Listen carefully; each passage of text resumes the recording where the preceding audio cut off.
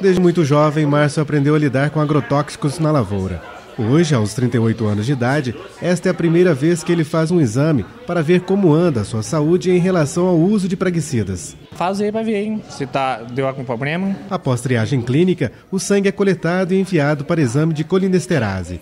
A proposta é verificar se há ou não casos de intoxicação a partir da exposição a agrotóxicos usado na lavoura. Há um grande número desses, dessas pessoas que estão sendo contaminadas, ou de uma forma aguda ou de uma forma crônica, com o uso dos agrotóxicos de uma forma incorreta. A ação faz parte do projeto Plantando e Colhendo Saúde. Cabe a Emater o contato com os trabalhadores para que participem e a orientação de como minimizar o uso de agrotóxicos. Nós vamos pensar em estruturar uma política pública visando o trabalhador.